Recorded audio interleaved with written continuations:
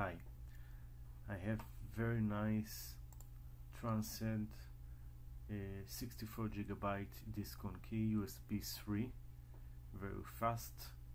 As you see it's a blue that symbols that it is USB 3 now I would like to use a Acronis software which is the best software that I'm using for backup all my computer if something is going wrong. Now I'm running here Windows 10 the new Windows and would like to create a disk on key backup. So let's uh, do the first thing. The first thing will be to format my disk on key so I'm going to my disk on key and let's format it. So I'm choosing format. exFAT the default I can change it. Even if I change it to NTFS or whatever doesn't matter. Let's do it. Okay, okay.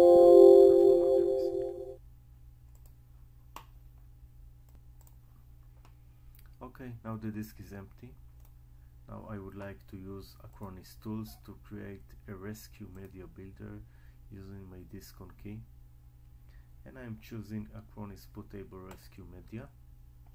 And this is the disk on key that I will use. And of course you have to proceed and format it in order to do whatever you want.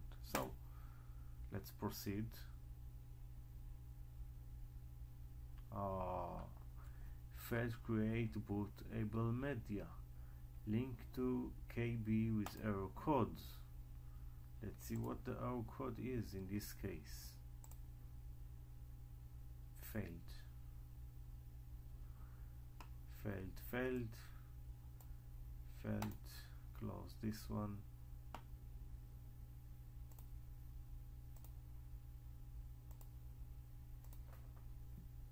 Okay Acronis True Image 2015 Rescue Media creation failed with the number of error blah blah blah. Okay the reason that it is you have to be FAT 16 or FAT 32 by the way FAT 32 is not suitable for disk of 34 gigabytes. So what should I do in just such a case? I really don't know okay so how did I solve this? Let's see in a second.